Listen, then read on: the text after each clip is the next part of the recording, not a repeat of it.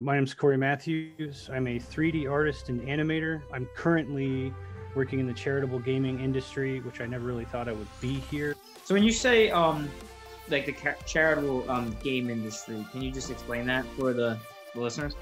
Yeah. Uh, okay. So I work in like um, basically I make like slot machine games, but uh, a lot of the uh, money that goes into those it has a huge like 80% return into charities for like wounded warriors and things like that because all of our games are in like vfws and bingo halls all over the uh, country Okay. and so they generate so much play and we want to give back to those people that are playing it and you know they kind of fall into those categories Are you doing the like the 3D assets and everything for that?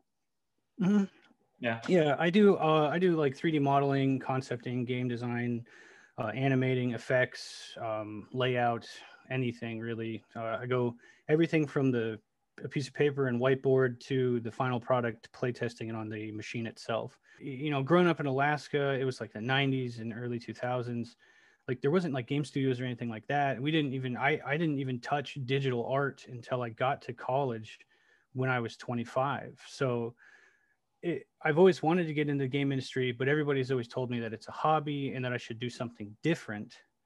And then eventually I had some hiccups and then I kind of was just standing there going, well, I've always liked art, so maybe I'll give that a try. And I don't regret it though. I, you know, things kind of lead you in a direction um, and you pick up on some of the signs. So, you know, I was going, I actually moved to Florida to do firefighting.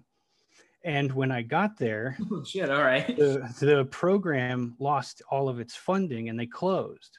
Shit. And I had just moved. I quit my job. I worked in a warehouse for eight years in Alaska and I just moved everything to Florida, um, you know, complete opposite side of the country. And then the thing I was going to do was no longer available. And I was just kind of like, oh man.